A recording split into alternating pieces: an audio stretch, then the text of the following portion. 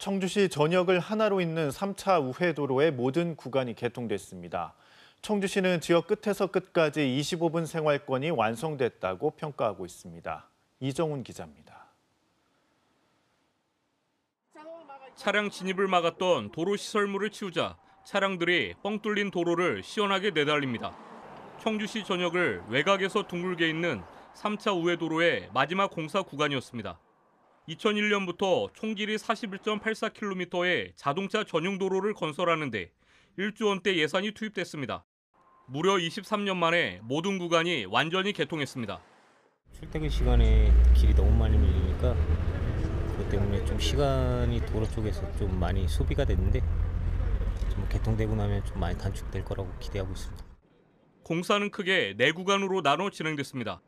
특히 마지막 공사 구간이었던 김순영 양궁장 교차로에서 국동교차로까지 5.6km는 대부분 산악지대로 7년 넘게 난공사로 진행됐습니다. 터널이 4km로 충청권에서 가장 길어 비상대피 통로가 17곳이나 설치됐습니다. 모든 사업이 청주시와 어, 국도지방관리청 간의 협조하에 진행됐고 개통으로 인해 그 고통 체증이 해소될 것으로 저희들 예상하고 있습니다. 청주시는 3차 우회도로 전 구간 개통으로 청주 전역이 25분 생활권이 됐다고 밝혔습니다.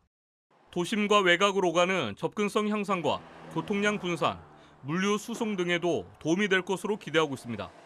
또 국도 36호선 상리터널과 3순환로 간 연결 공사로 개통이 늦어진 국동교차로의 증평 방향 연결도 서둘러 마무리하겠다고 밝혔습니다.